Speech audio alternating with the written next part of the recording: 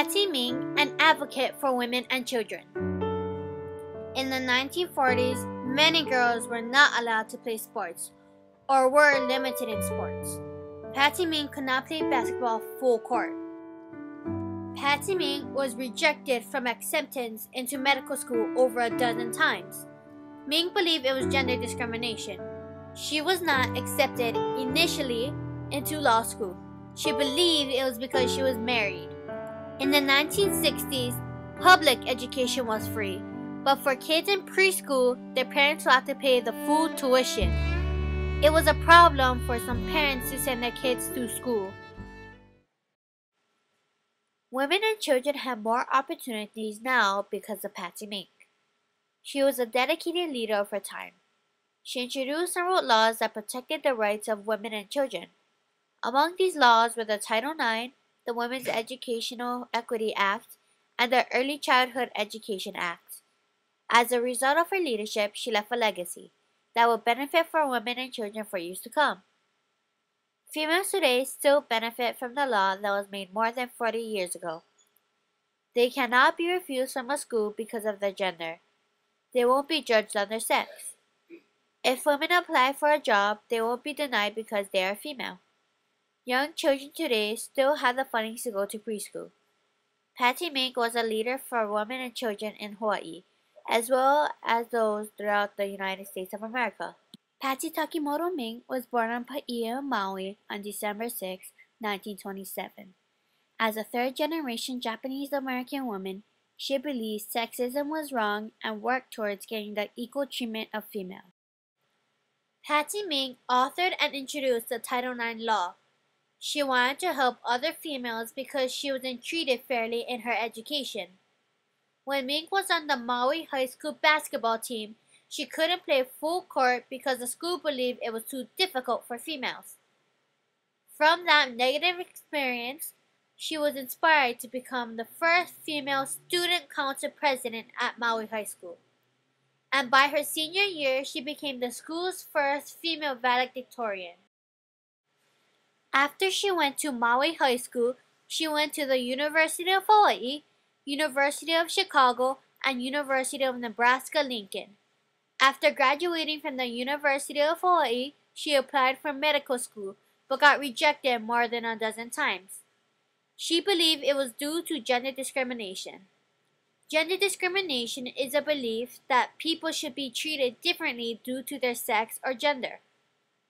These people believe one sex is more superior than the other. In many situations, Mink found herself and other women not being treated fairly. Because of her life experiences, Mink made it possible for girls to benefit from the same opportunities as boys throughout their education, including sports. The definition of Title IX in the Encyclopedia Britannica says, No person in the United States shall, on the basis of sex, excluding from participating in, be denied the benefits of, or be subjected to discrimination under any educational activities or activities receiving federal financial assistance.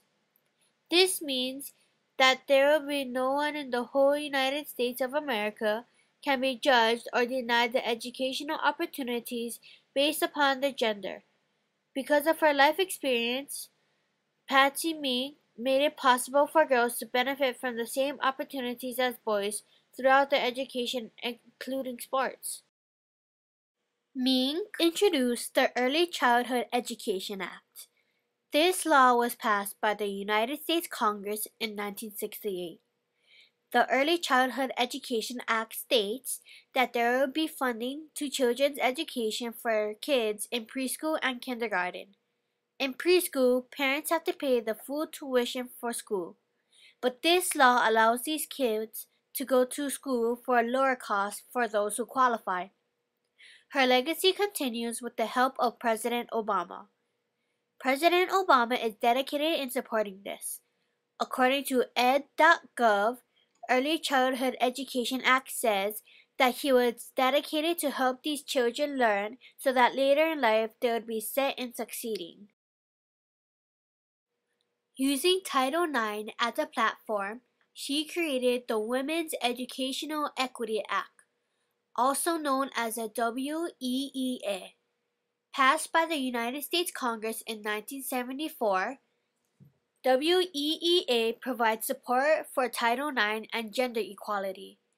According to NAPE, National Alliances for Partnership and Equity, Women's Educational Equity Act says that its main objective of the Act is equity education, no suffering from discrimination or based on their gender, race, etc.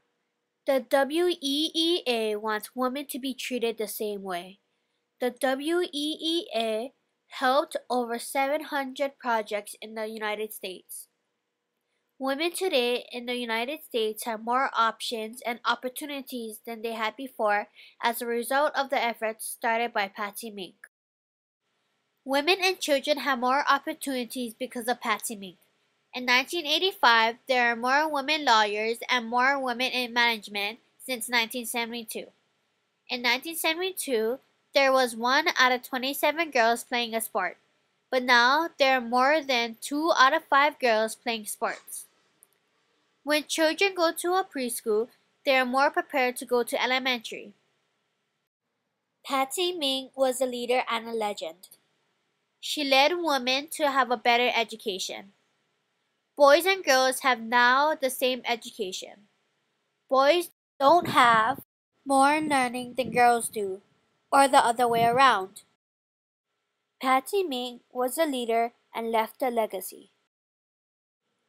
Today, I am affected by her legacy because I love sports. She made it possible for me to play a sport on a field against people. I plan to play soccer and basketball when I go to high school.